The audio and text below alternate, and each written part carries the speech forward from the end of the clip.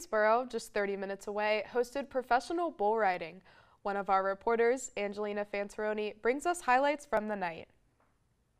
The Greensboro Coliseum was filled with cowboy hats, boots, and bulls. Professional bull riding teams held cowboy days all weekend, and fans were excited to see the different games.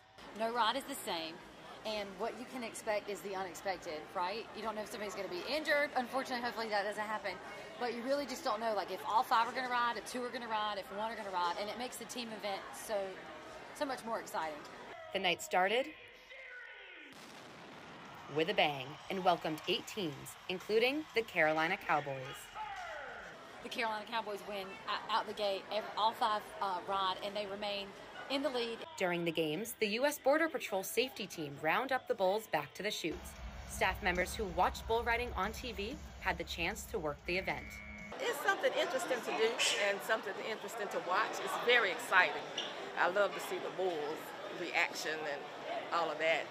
It's just, it's, it's exciting. It's adrenaline, that adrenaline gets to flowing. Even though the event ended around 11 p.m., younger fans joined in on the fun. Well, I did like all the bulls and all the riders, especially the Mr. Clown. He does this.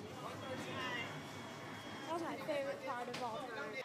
And two emotions to end the night? I was feeling energetic and very joyful. The Carolina Cowboys rode home the win on the first night of Cowboy Days. Angelina Fantaroni, ENN Tonight. The PBR's next stop is in Fort Worth, Texas next weekend.